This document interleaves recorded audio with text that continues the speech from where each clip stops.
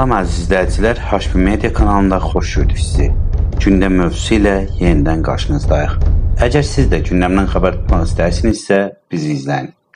Bu həftə Azərbaycan siyasi həyatına bomba kimi düşən, partlayışının qırıntıları nərdiz kimi siyasi meydanları suvayan, adı ürək bulandıran ilə kompensasiya olunan Kərmə dövləti haqqında danışacağıq. Deməli, özlü dindar kəsimin öndə gedəni adlandıran bir qrup siyasi dinbaz, dindarlardan çox-çox üz istəyirəm, belələrini yalnız dinbaz adlandırmaq olar. Demokratik və bəşəri dəyərləri özündə birləşdirən Azərbaycanın adını və demokratik quruluşunu dəyişərək dini kərmə dövləti yaratmaq xülyasını imişlər. Zəlzələdən və ya vəlvələdən bu xülyanı dinbazların başında duranlardan biri Şeyx Tohid İbrahimbəli adlı bir topuşmolla açıqlar.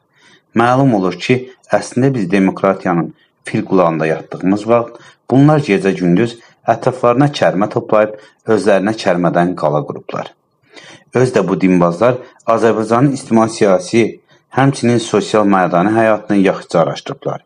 Ətraflarına yalandan geyindikləri həqiqət donu ilə elə işıq saçıblar ki, sabaha görə bilməyən bütün kör ağca qanadları hörümçək kimi öz qurduqları tora salıblar.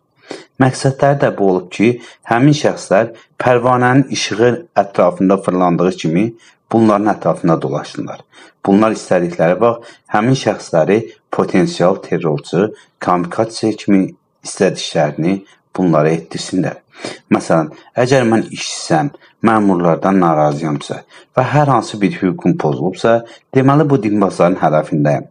O zaman dini vasitələr, şirnikləşdirici vədlər, yağlı təşviklər vasitəsilə Kərmə dövlətinin təəssübkeşinə və ya fanatikinə çevrilə bilərəm.